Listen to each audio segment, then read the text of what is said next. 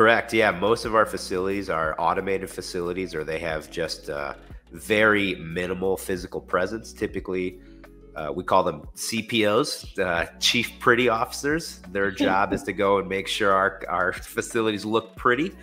Um, so they they're typically a, a maintenance or janitorial style uh, contractor that we give a base amount to just go check on our facilities one or two hours a week.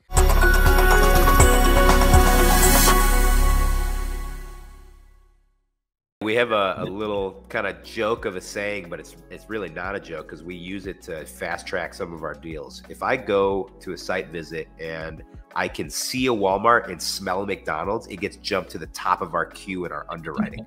Yep. And it sounds like a joke, but think about it. I mean, Walmart yeah. and McDonald's are two of the best companies when it comes to location, location, location, right? Sure. Both of those companies are not services businesses or fast food companies. What they really are are real estate companies. Really? And they have tons of money to do all the demographic studies and find where they want to place their sites.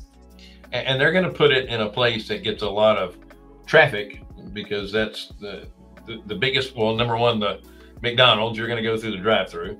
Um, and then the people see the Walmarts all the time and say, "Oh, I got to pick up such and such," and, and pop in. So they're going to have they're going to be located on streets that have a lot of traffic, mm-hmm. and, and, that's, what you want in self storage as well, because self storage is not something that is on somebody's typical mind. Well, it's that branding thing where they. Well, it's just like Fernando said, yeah, yeah, earlier, where you, you drive by it until you need it, and you're like, "Oh, yeah, that place."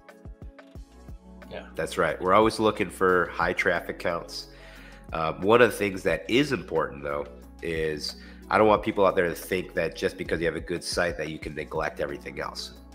The fact that you have the brand presence because it's being seen on your daily commute every day is just one part of the equation.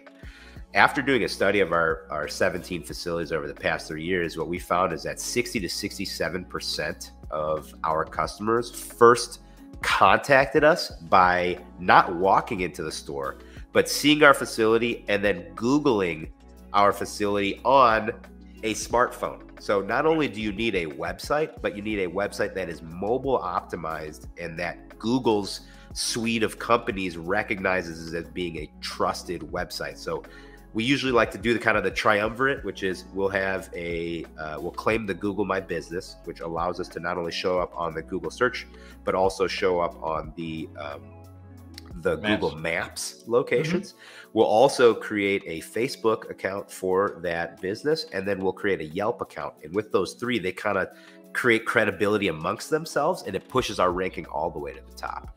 Nice. Um, and uh, you, you also put in automation where you can actually rent the units and do everything else on the website, right?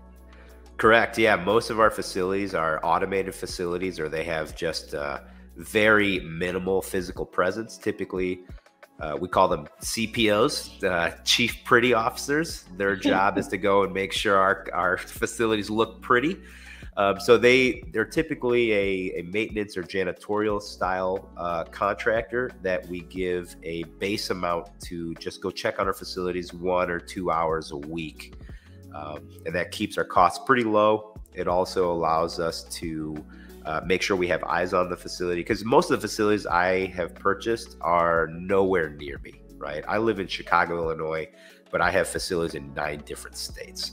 Mm-hmm. Um, and it just doesn't make sense. It's, it wouldn't be a business that I'd want to be a part of if I had to go visit those facilities on sure. a weekly or monthly basis. So yeah, that that's super important.